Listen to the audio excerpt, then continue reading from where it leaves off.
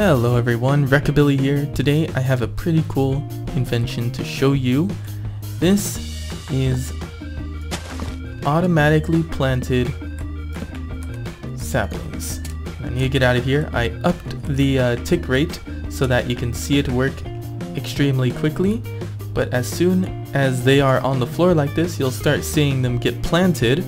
Now they do need to be on grass blocks or else this wouldn't work, but it's pretty dang cool.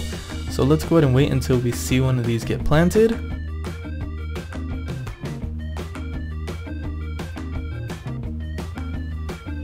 There we go, we got one planted and now we'll see it grow. Perfect, and you can see that it does take a little while. Sometimes it's quick, sometimes it's slow, and they don't all get planted at the same time. Of course, this also means that, of course, um, we'll be able to do other trees like we can do spruce and that one will get planted. There we go and then we can do birch multiple birch if you want jungle acacia. We can even do dark oak but dark oak of course needs to be planted in a four or a two by two. So sometimes they they grow sometimes they don't. We'll keep an eye on that one but Let's just hang out right here. You can see them all get planted. There's a birch over there, then another birch. Oh, this one grew. There's the acacia, cool. We got the jungle tree grown, pretty awesome. Oh, this is about to grow. There we go, that's pretty cool. That's It's a very derpy tree, but it's pretty dang cool. I really like this. This is something that I've been wanting in survival for a long time. Um, but of course, we don't always get what we want, so I decided, hey, I'll make it myself. Alright, so how about I explain how this all works.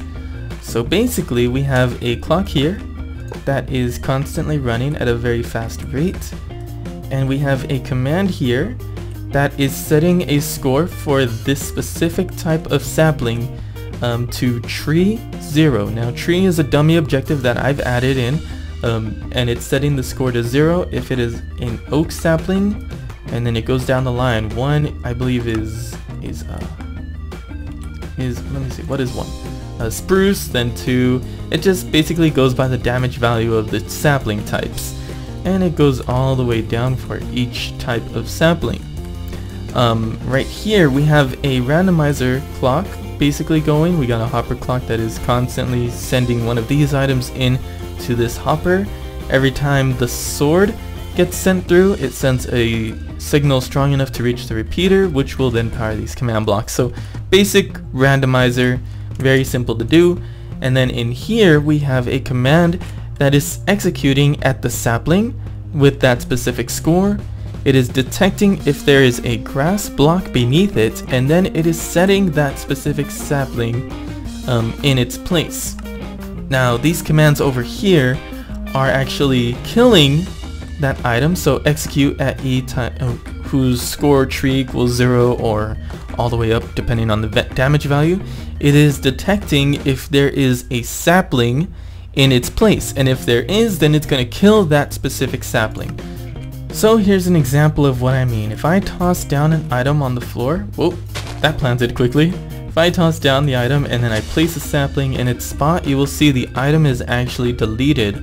So that's how it works. It deletes deletes the item once there is a sapling in its spot. So yeah, that's basically how it works. Pretty cool stuff. If you like this, you can go ahead and download it. Again, I do have a schematic for you in the description below. And yeah, leave a like if you enjoyed the video. Please be sure to subscribe and I will see you all in the next one. Take care. Bye.